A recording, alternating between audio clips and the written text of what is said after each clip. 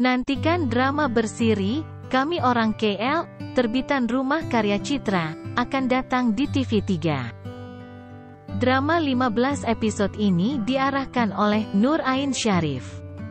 Drama ini menampilkan para pelakon seperti Andi Bernade, Afifah Nasir, Ropi, Lisa Abdullah, Amiza Asnan, Mas Niza Manan, Adi Afendi, Maria Farida, dan ramai lagi. Sinopsis dan tarikh tayangan bagi drama ini masih lagi dikemas kini.